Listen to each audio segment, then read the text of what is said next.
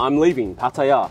That's right, I'll be sailing off into the sunset in a matter of days. Don't get me wrong, I love Pattaya, you know that. Alas, the people have spoken. They've said to me in the comments and in the street, Sam, you're wasting your time in Pattaya.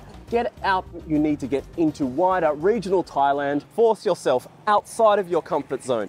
Force yourself into areas where you must learn the Thai language. And on top of all that, Sam, you need to get yourself up to Chiang Mai.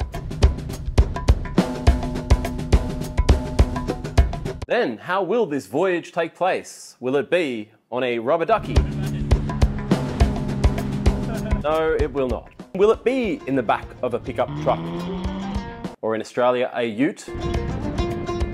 No, it won't. Might it be on Keezy's Kawasaki two-stroke dirt bike?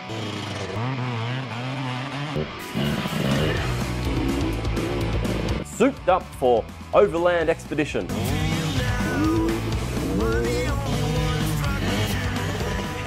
No, unfortunately, it won't be on that either. Will there be a support crew following me in a car with air conditioning and food and water and spare gasoline? I think you know the answer to that one as well. No, Sam, you will not be doing it with any of that support or any of those vehicles. You'll be doing it with what you have at your disposal right now. That's right, a busted up 2006 Yamaha Mio scooter, 113 cc's with hard as nails suspension, fairly questionable brakes, a 5 litre fuel capacity, a speedo that will not exceed 80 kilometres an hour under any circumstance, a cracked mirror, a 20 baht poncho, and about 10,000 baht. What could go wrong? And heading to the beautiful Kanchanaburi province. This one's a sleeper, isn't it? It's really, really stunning. I would be lying to you if I said I have not been heavily inspired by Keezy and Paddy's recent road trip they did together a few weeks ago to Kanchanaburi province. This doesn't even feel like it could hold both our weight, let alone massive The way both those guys executed their travel road trip videos, I thought was absolutely spectacular and, and both very different. If you haven't watched them, I highly recommend one of Paddy's, his version of events, and then and then watch one of Keezy's and, and, and see the difference. Plus all the history of the World War II stuff that, that went on there. I, that just got me. And the value that I was able to extract from, from those videos in comparison to my own videos here in Pattaya, that they were just worlds apart. Since my breakup, the only thing that has stopped me from exploring this vast country has been my need to do frugal living, my frugality, plus a little bit of fear of the unknown.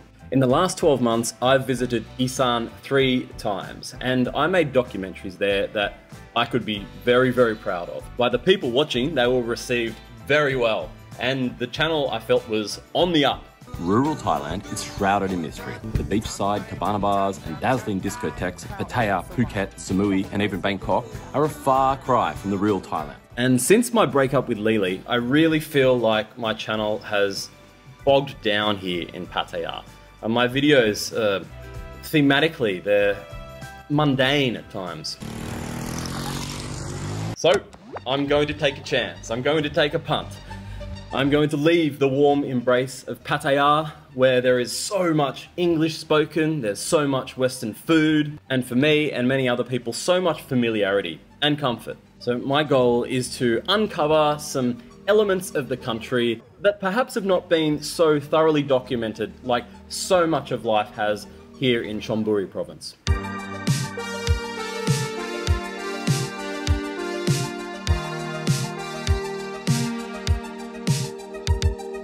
And hey, even if I don't discover anything new or bring you anything completely original, at least I will be doing something new for myself and I will be challenging myself.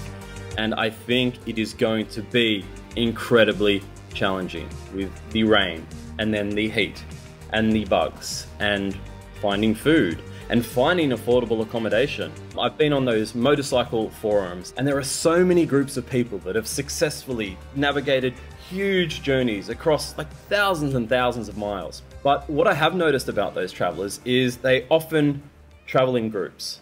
even if there's a second person or a third person. That provides a lot of comfort and security and safety, right? Now, I'm not retired. I don't have any friends here that want to go and do the same thing at the same time as me. So for that reason, I'm just going to go it alone. Plus, Keezy will tell you, I can be a little bit difficult after a couple of days. It, it, it is risky in a way for me, um, and that is because I will be walking away or riding away, such as the case, from familiarity, from my daily routine, from the familiar faces that that, that sustain me when I'm while I'm abroad. I'm not back in my home country, uh, living near my family and close friends.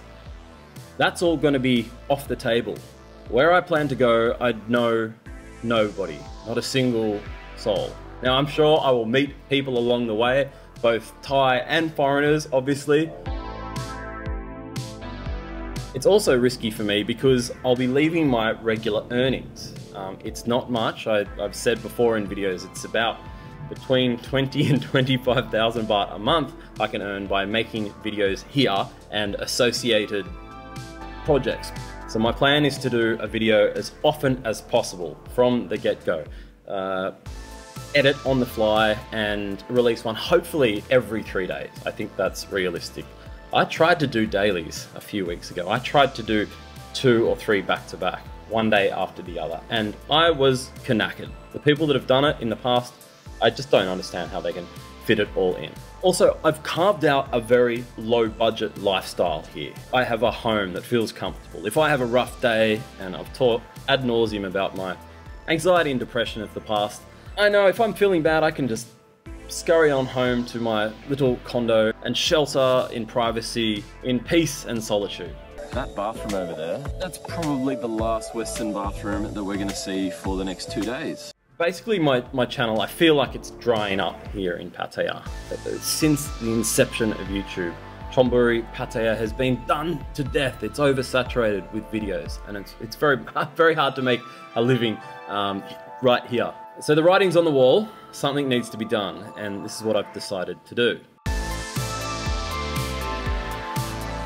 So for this one, I'm going to have to ask for your help. I'll show you my draft itinerary, and I need recommendations for affordable lodgings along the way, guidance on the national parks, guidance on which roads to take, and any pitfalls, things to watch out for, dangers.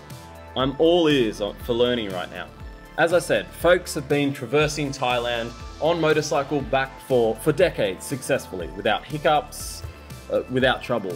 But I suspect that these people have had deep pockets, uh, well serviced vehicles, and perhaps they're not riding solo. So, what I'm asking for you today is to take a quick look at these maps and tell me what you think. Tell me about my urge to try and get as close to, I would love to go into, but learn a little bit about the Thai government run refugee camps that are scattered on the Thai side of the border with Myanmar. They are chockers with refugees. And there's not a lot of information floating around about this. Uh, Mae Sot is one of the locations that I've tentatively put on my itinerary. Now, I've talked to a friend who lives here and has worked in the UN for many years. He actually just got back to Thailand after a it, after a contract in Sudan of all places. I asked him about visiting is it safe to do so? Will, would, would I be allowed in?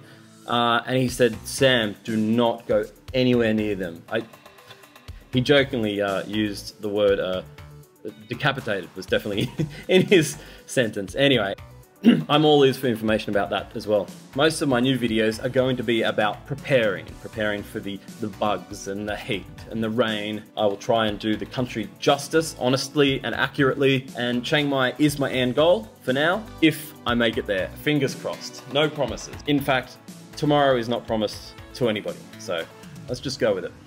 All right, I'm excited. Thank you for watching.